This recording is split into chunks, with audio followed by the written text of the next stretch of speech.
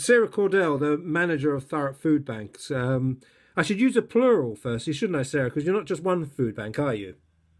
Well, we're, we're the Thurrock Food Bank, but we've got 10 centres across the borough, so we are just one food bank. We just happen to have 10 different locations where people can go in and get food.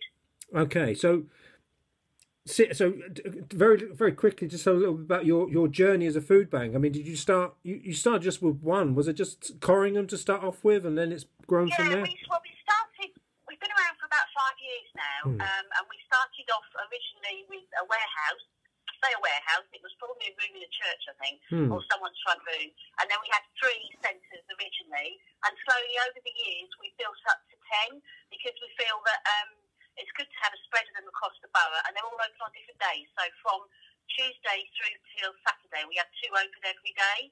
So we try to we try to go to the places where we think people might need us really. and and how busy are you Okay, so last year we fed uh, just over 4,500 people, which was an increase of 15% from the previous year. And I can't, I can't remember what the figures are from the year before that, but we have increased every year. So we have increased the number of people we feed every year. does i guess the one thing is does that concern you Oh, absolutely. Yes, of hmm. course it does. I mean, on the one hand, we're happy that we're here, that we can help people, but we are obviously concerned that there are people out there in Thurrock that are going hungry. You- it's covering a large area so the most easterly one would be corringham in through to thurrock is there any is any in the west of the borough as well So we've got so actually Corringham is our is where our warehouse is. So we don't actually um, give out food from there. So the one I guess the one that's the furthest over to the east would be Linford or Tilbury over that way, and then the other way towards the west we've got um, Purfleet uh, and Aveley and South Ockendon. So they cover, and then we kind of cover in between as well. Okay it'd be boring. So we're we're speaking to you this week where universal credit is going to be, as I say, Yeah. rolled out. Does Yeah. it does this concern you regarding universal credit? Are you prepared? Are you prepared for a, an increase or a spike in in, in in customers and clients? Yes, so uh, we're a Trussell Trust Food Bank, um, and there are 400, uh, just over 400 Trussell Trust Food Banks across the country. So some of them have already had um, an impact of universal credit in their areas.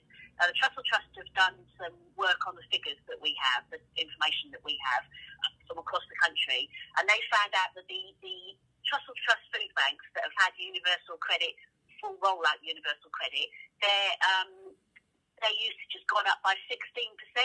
Now, that's an average. I guess that's an average figure, and those are the statistics. But I've read posts on Facebook. Uh, I mean, they're all. Um, I haven't got the proof to back this up, but I've read posts on Facebook where tr- food banks are talking about an increase of kind of 80%, which is a real concern for me. When I found this out, it was kind of like a red light and thinking, right, we've got to make sure that we've got enough food in our warehouse to help us cover this rise. So we're working very hard to make sure we've got enough food in. So we've been, at the moment, we've got a lot of um, food coming in through harvest festivals, so through churches and through schools as well. We're very lucky that people in, in are very generous uh, towards us with donations. Um, and then we've got a big collection coming up in Tesco's at the beginning of December. So um, I think we're trying our best to be prepared.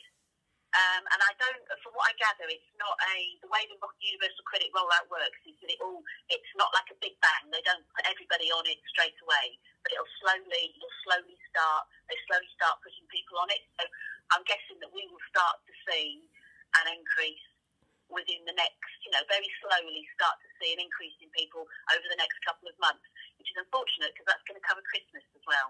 Mm.